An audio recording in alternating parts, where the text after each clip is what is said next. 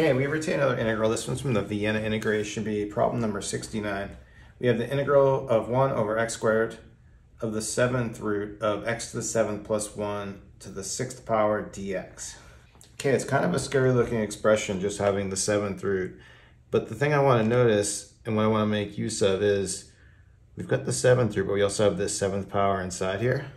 To try to make use of that, let's factor this expression here. I can factor an x to the seventh out and write as 1 plus x to the minus seventh. And then grouping the sixth power with the seventh root, we can write all of this as to the sixth seventh power.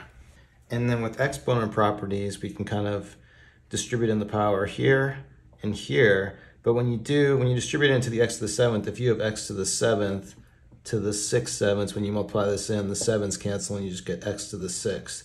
So what's going to happen here is this becomes x to the sixth, and we have 1 plus x minus 7 to the 6 over 7.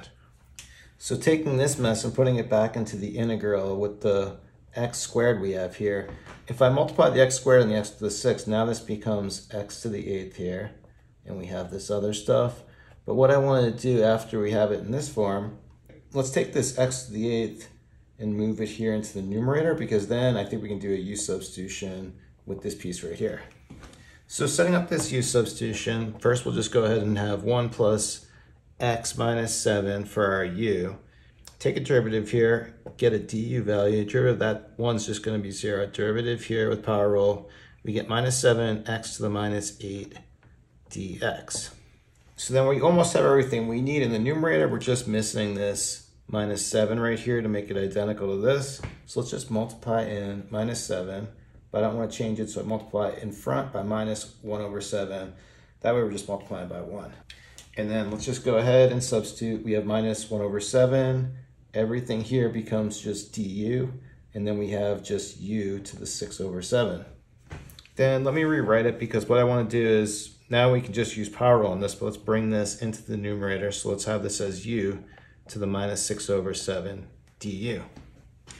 Integrate with power rule, what we're going to do, if we add 1 there, we need to write that 1. Think of the 1 as 7 over 7 minus 6 over 7 plus 7 over 7. Now our exponent's going to become u to the 1 7th. Take the reciprocal of this, we have a 7 coming up front. 7's cancel, we just have minus u to the 1 7th. Now let's just back substitute in order to finish it off. So let's, and let's kind of change the format here. So we have this minus out front. Let's write this thing as the seventh root. And then for this, we have one plus x to the minus seven, add a plus c, and that's it.